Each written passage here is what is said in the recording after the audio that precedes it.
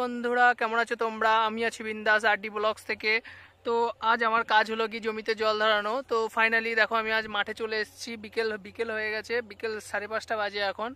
তো মোটামুটি জল ছাড়া হয়ে গেছে, পাইপ বিছানো হয়ে গেছে। এখানে চারশো ফুট পাইপ বিছিয়েছি। চারশো ফুট পাইপ বিছানোর পরে এটাতে কালকে লেবার দিয়ে ভেলি করা ছিল। লেবার দিয়ে ভেলি করার পরে আজকে সকালেই পাটের বীজ ফেলেছি। পাটের বীজ ফেলার পরে এই জল ছাড়লাম পাঁচটা পনেরোতে।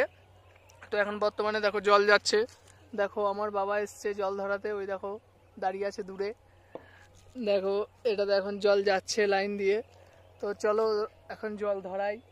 দেখি কতক্ষণ লাগে, মোটামুটি মনে হচ্ছে আজকে সারাত লেগে যাবে। সারাত ধরে আজকে জল ধরাবো, কিছু করার নেই। চলো, এখন জল ধরাই। বিন্দাস দেখো বসে বসে। দেখো, মাঠের মধ্যে এখন বর্তমানে এই মাঠে এখন প্রচুর টাইম লাগবে আমার। মোটামুটি তোমার রাত্রি একটা দুটো বেজে যাবে। এই পুরো জমিটাতে আজকে সারা রাত ধরে জল ধরাবো তো পাইপ প্রায় পাতায় পাতায় আছে, জল যাচ্ছে টুকটুক করে। প্রচুর টাইম লাগবে বন্ধুরা। একটু তাড়াতাড়ি হয়ে যাক, তোমরা প্রার্থনা করো।